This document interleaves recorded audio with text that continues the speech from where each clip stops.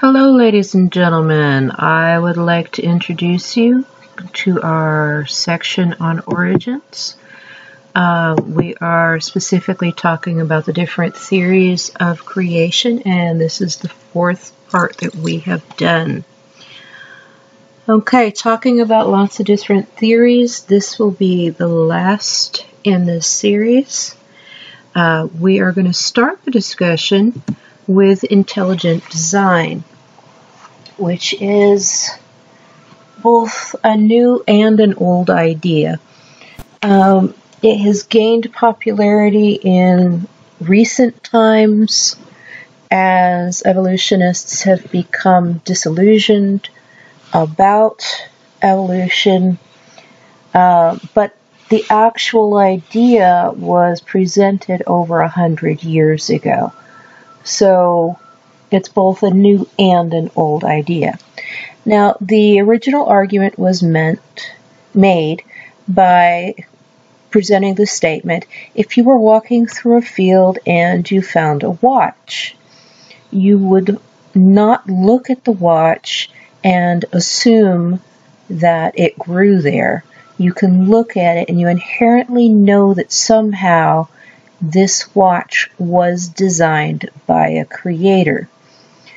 And taking that analogy to the world and you look at all of the intricacies and the different amazing a number of details that you can learn about in science, and I know I know more than you because I'm a scientist, um, it's just the amount of detail and patterns is actually overwhelming, much more so than, say, a watch. Now, as a Christian, you think intelligent design. Of course, what that means is finally they're accepting the idea of God. However, uh, as a Christian, we would say the intelligent design is by God. However, not everyone agrees with that. There are people that are so set on being atheists and saying that there is no God that they are willing to go what I would consider a logical jump into the dark and they would actually say instead of God actually creating and designing this world as we see it, that it was actually created by aliens. Okay? Uh, we'll get to some problems with that, um, which you would think would take more faith, I guess, is up to your perception. Um, I personally have seen more evidence of God than of alien life. Uh, now, when we talk about that, we'll talk about it again in a minute. Um, there also is the idea of young earth creationism.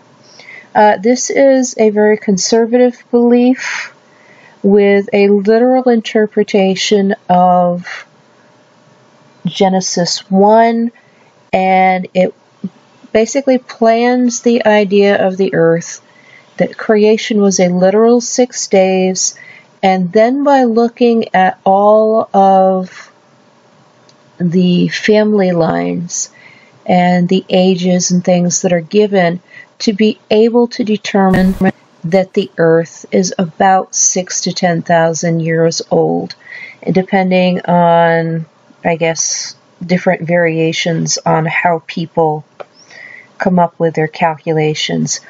Primarily, people come up with an idea around 6,000. Um, but there, there's differences in calculations. I don't know what all the differences are. But the idea that the Earth is not millions and millions of years old, but that it's thousands of years old instead. Um, the young Earth creationism, like I said, believes in the literal six days that the first day of creation God spoke and there was light and dark, uh, not a planet like you see, but just light and dark. Um, Second day that he separated out the oceans and the, the sky, separated them so you have different places. Third, that he created the land and the plants. Fourth, that he created all the celestial bodies like the stars, the planets. Uh, fifth day, birds and animals of the ocean. Sixth day, all of the animals including humanity, and on the seventh day rested. Uh, we've talked before about the use of the word yom in Genesis and how it relates specifically to a 24 hour day.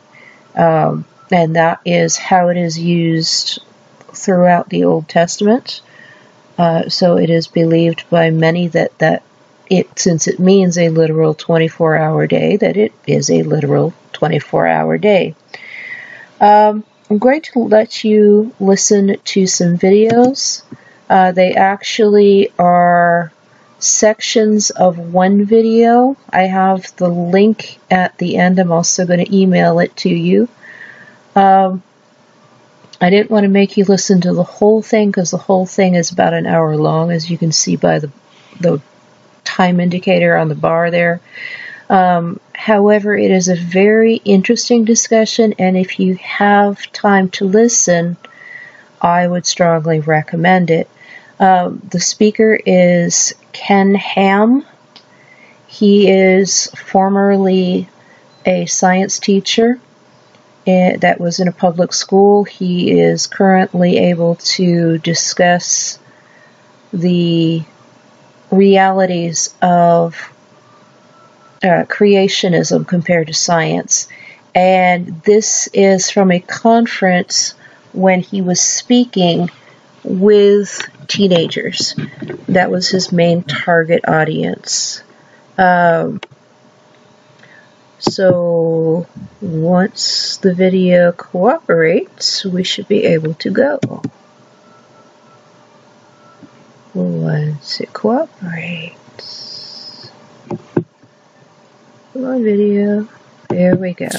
I want to show you a video clip of an interview with Dr. Richard Dawkins. Who's heard of Dr. Dawkins? Dr. Richard Dawkins. Oh, yeah, I think many of us heard of him. He wrote the book The God Delusion. He's an atheist. He spends most of his life fighting against someone he doesn't even believe exists. A number of years ago, uh, we had someone who interviewed Dr. Dawkins to ask him this question Dr. Dawkins, now he's an atheist. Can you give me an example? We only wanted one where matter produces information and adds it into the genes. By the way, if evolution is true, it had to happen zillions of times. We just want one example, just one. I want you to see how he answered the question. Watch this. Professor Dawkins, can you give an example of a genetic mutation or an evolutionary process which can be seen to increase the information in the genome? There he is giving the right answer right now. Can you hear it? That is the right answer. There's no example.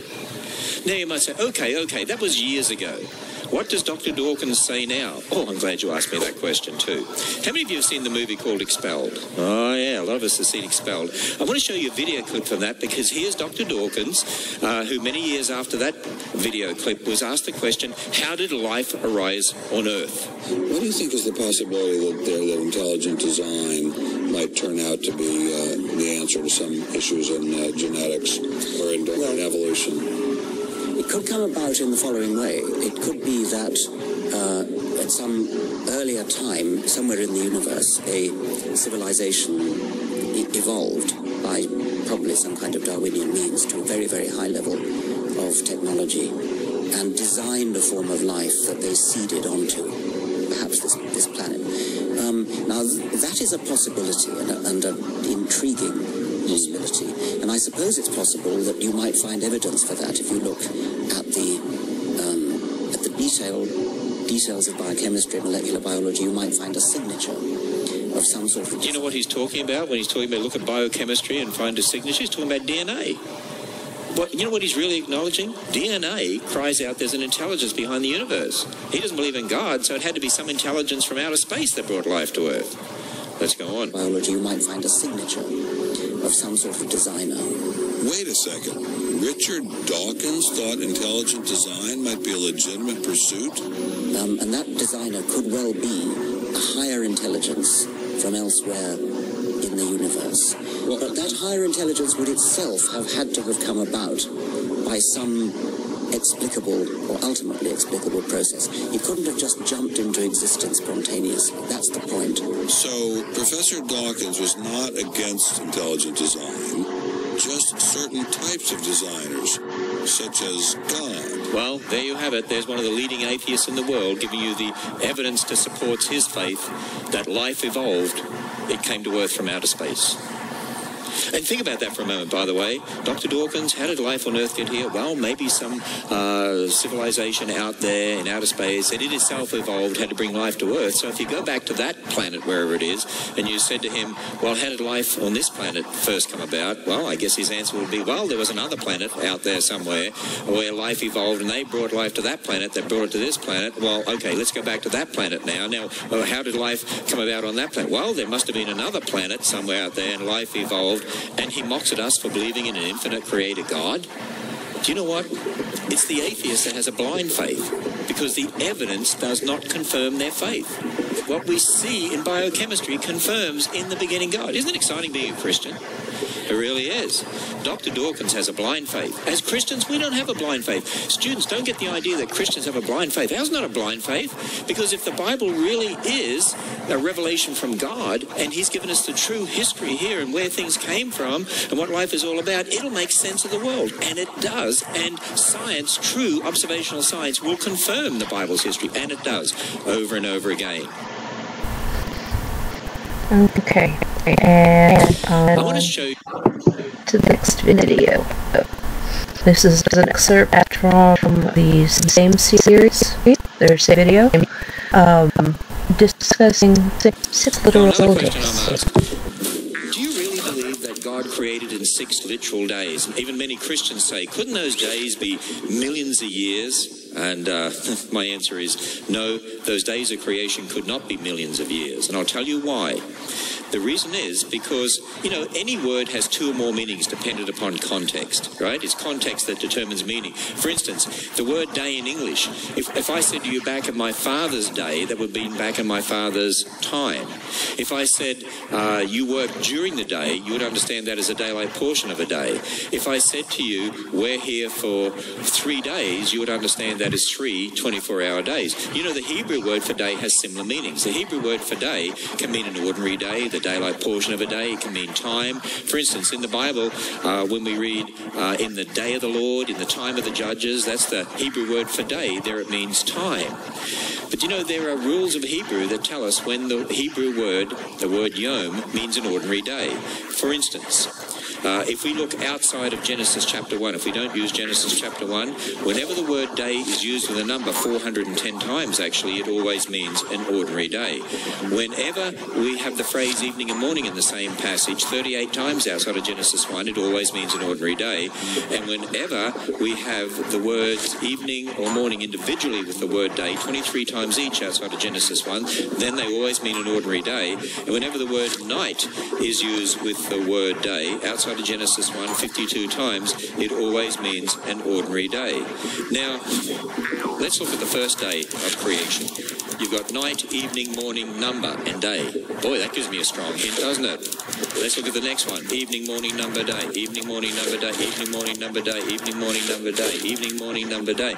People, it's so obvious from the Bible that the word day in Genesis 1 means an ordinary day. In fact, think about this for a moment. Where do we get the idea of our week from? We know where the day comes from, the rotation of the earth, the measurement of the day, the month, the earth and the moon, the year, the earth and the sun. Where does the seven day week come from? It comes from the Bible. That's where it comes from. It comes from the Bible. Now, some people say to me, yeah, but I read in the Bible that a day is like a thousand years. Who's heard someone say that to you? A day is like a thousand years. I tell people, oh, you mean that passage in 2 Peter chapter 3? Yeah, read the rest of the verse and it says a thousand years are like a day. That just cancels that one right out, doesn't it? And not only that, it, the Bible doesn't say a day is like a thousand years. I want you to notice something. It says one day is, what's the next three words? With the Lord a thousand years, or a thousand years uh, as one day. You know what it's telling us? God is outside of time. To God, a day is like a thousand years, or a thousand years like a day, because God is not limited by natural processes and time as we are. In fact, in the very first verse of the Bible, it says, In the beginning, that's time, God created the heavens, space, and the earth, matter. God created time for this creation to exist. He's outside of time. To him, a day's like a thousand years. That's not defining a Hebrew word. You can't use a phrase in the New Testament anyway to define the meaning of a Hebrew word. A Hebrew word depends upon the Hebrew language. No, it's very obvious from Scripture that the days of creation are ordinary days. I know there are many Christians that say that they could be millions of years or whatever, but the reason they say that ultimately is because they're taking what the secular scientists say about millions of years and trying to fit it into the Bible. And so, because of that, I'm often asked another question. Well, can Christians believe in millions of years? Now, if you believe in millions of years and, and you're a Christian, you know, I'm not, I'm not saying that therefore you can't be a Christian, but I'm going to say you're inconsistent. And let me show you why. We read in Genesis chapter 1 that originally God told Adam and Eve to eat fruit, the animals were to eat plants. Uh, we weren't told that we could eat meat until after the flood. You see, originally we are all created to be vegetarian. Um, remember what happened in Genesis. Adam, if you eat of this one tree as a test of obedience, you will surely what? Die. It was Adam's sin that brought death. The Bible makes it very clear that death came into the world because of sin. Now, if you believe in millions of years and you believe the layers of fossils were laid down over millions of years, then you've got all these layers of fossils with all these dead things in them, uh, then that doesn't fit with what the Bible says that originally all the animals were vegetarian in the fossil record, you find evidence of diseases in the bones of creatures like dinosaurs. But when God made everything, He said it was very good. In the fossil record, you find fossils of thorns that secular scientists say are hundreds of millions of years before man, but the Bible says thorns only came into the world after man sinned. Paul tells us in Romans 8 that the whole of creation groans because of sin. You see, the Bible makes it clear death, disease, thorns, that all had to happen after sin. But if you believe in millions of years as a Christian, you've got a problem because you've got all that before man.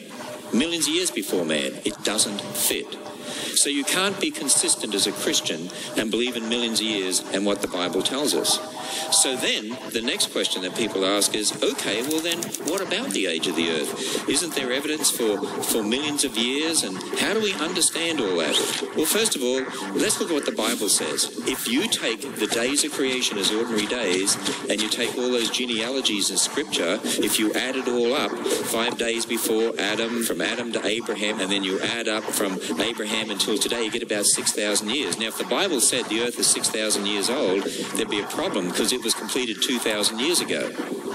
So you see, the Bible doesn't say, here's how old the earth is. You know what the Bible gives us? A history. And it tells us about the days of creation and when people lived and died and so on, and gives us that history so we can add up the dates, and that's how we get the few thousand years.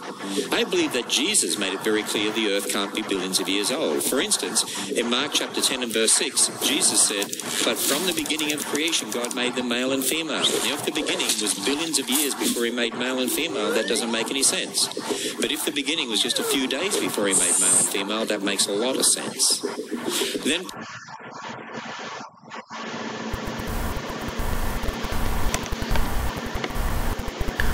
Okay.